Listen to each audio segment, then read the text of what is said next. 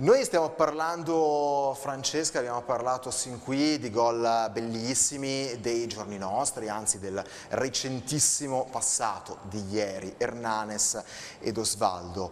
Però qualche anno fa. Eh, c'è qualcuno. qualcuno. che ci ricorda un po' Osvaldo, no? Assolutamente, che ci ricorda uh, Osvaldo, mm, sotto, cioè, o, o, meglio, Osvaldo tenta di, ricor di, ricordare, no, Michele, un eh. pochettino questo grandissimo campione. Ci auguriamo poi che possa Osvaldo nella sua futura carriera interista assomigliargli sempre di più, però un pezzo di storia nerazzurra che è in collegamento telefonico, telefonico con noi questa sera è assolutamente ancora imparagonabile.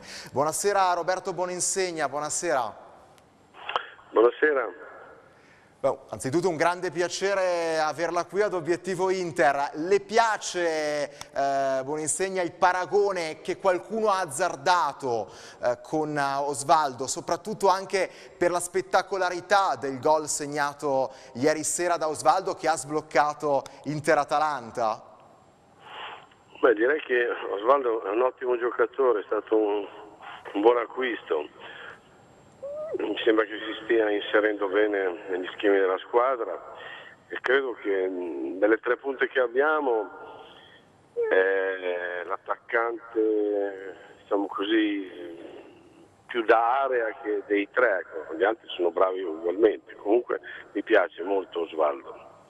Bene, non, non, non, si è sbilanciato giustamente tantissimo sul paragone, non ci siamo permessi così tanto nemmeno noi di farlo, però il fatto che eh, vada insomma, ad avallare a pieno l'acquisto da parte della società di Osvaldo ci fa piacere perché voglio dire l'occhio da intenditore eh, è, è, chiaro, le, le appartiene. Eh, Michele, eh, Roberto Boninsegna, di cui adesso avremo modo di vedere diversi gol, uno più bello dell'altro, uno più importante dell'altro, sì, ha, ha, segnato che... proprio la storia nerazzurra. Il primo che vedremo tra l'altro è proprio uno in rovesciata, storico, che i tifosi dell'Inter amano ricordare, quello dello scudetto del 71 all'ultima giornata, veramente spettacolare, ma come tanti gol che Roberto Boninsegna ha fatto a livello di, di spettacolarità ma anche a livello di, di, importanza. Quello che volevo chiedere a Roberto, ieri qualcuno, eh, anche i colleghi importanti come Mario Sconcerti, diceva analizzando i tre attaccanti dell'Inter, Palasio tra quelli più in là con gli anni, Icardi tra i più giovani, Osvaldo perché lui per esempio lo ritiene tra i migliori o il migliore attaccante italiano, si può dire che a livello di, di rosa d'attaccanti l'Inter non ha niente da invidiare a nessuno in Italia.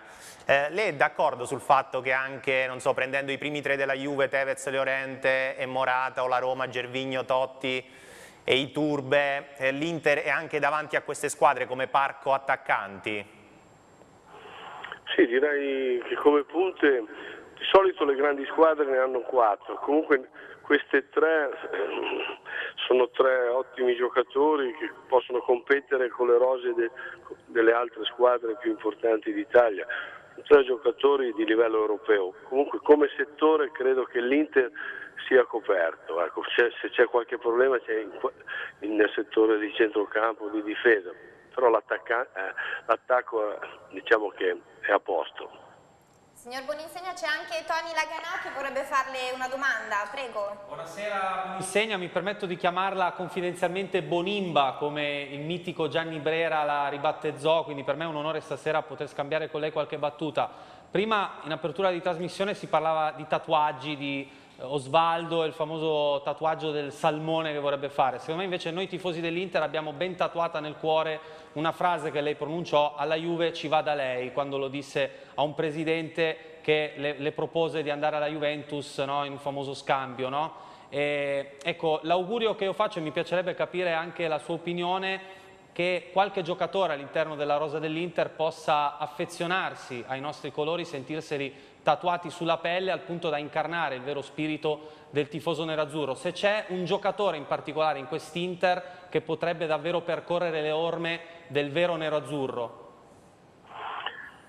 Adesso è difficile, adesso è difficile perché quando giocavo io eh, eri, eri legato alla società, c'era il vincolo, era la società che, dice, che decideva come hai detto tu prima, io quando ho, sent- ho saputo di andare alla Juventus, a Fraizzoli gli disse alla Juve ci va, ci va lei, eh, perché io mi sento una bandiera inamovibile dell'Inter, sono nato interista, però quando allora la società decideva di cederti tu o smettevi di giocare oppure accettavi il trasferimento. Adesso con lo svincolo, dopo la legge Bosman, Adesso un giocatore eh, eh, fa un contratto, può stare sei mesi anche in una squadra, il girone di ritorno lo fa in un'altra squadra, perciò è difficile trovare le bandiere adesso perché c'è un regolamento nuovo che penalizza appunto il fatto di essere una bandiera. Comunque sempre, sempre se un giocatore vuole può rimanere a vita, anche che sia d'accordo il suo procuratore.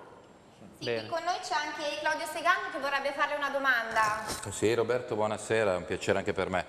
Eh, parlavamo prima della Roma, insomma una società, eh, una proprietà straniera che ha impiegato qualche anno per arrivare adesso ad essere sicuramente tra le, tra le prime due, due d'Italia, anche in Europa può far bene. Secondo lei appunto l'Inter con una proprietà straniera, anche con una proprietà straniera, insomma questo progetto prima di arrivare a portare all'Inter al, al, top sia in Italia che in Europa, secondo, te, secondo lei quanti anni ci po potranno, potrà impiegare insomma, questo processo? Sì, Toir è partito, è partito abbastanza, abbastanza, bene diciamo, perché l'anno scorso è stato un campionato disastroso, eh, sono arrivati dei giocatori importanti, certo che poi dopo dipende sempre dalla voglia che ha da spendere dei soldi. Comunque quest'anno ha già fatto bene, diciamo che la squadra può, eh, nelle prime cinque possiamo arrivare terzi, la Juve, la Juve, e la Roma mi sembrano un gradino sopra, però eh, il campionato può presentare anche eh, delle cose strane ecco, e delle sorprese però non illudiamoci troppo, credo che l'Inter possa arrivare, arrivare al terzo posto, sarebbe già un grosso traguardo. Grazie. Michele ancora per Roberto sì, Buoninsegna, poi lo salutiamo. Sì, un'ultima un curiosità da allenatore, per esempio nell'ultima partita a Palermo abbiamo visto che l'Inter quando quest'anno ha cercato di, di, sbilanciarsi per dare, anche Mazzari diceva per dare questa mentalità di volerle sempre vincere, in realtà non c'è stata una grande risposta nell'ultima parte di partita con, con i tre attaccanti. Eh, Secondo lei è riproponibile durante l'anno e che, deve, che, condizioni ci devono essere perché l'Inter possa schierare contemporaneamente Osvaldo, Palasio e Icardi con un 4-3-3?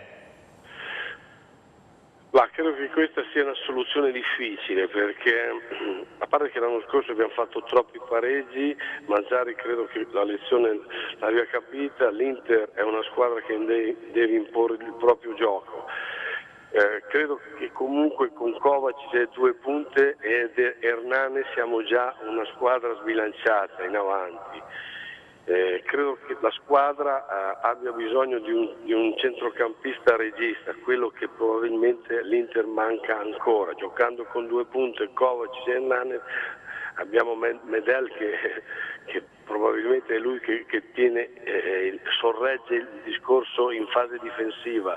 Siamo sbilanciati un po' troppo, però insomma, Guarin sta riprendendo bene, però se vogliamo puntualizzare a questa, a questa eh, Inter manca un regista vero, perché Kovacic non è un regista, è un trequartista, mi sembra di vedere Mazzola, dall'altra parte ci manca un Suarez, un Pirlo, ecco, mi sembra.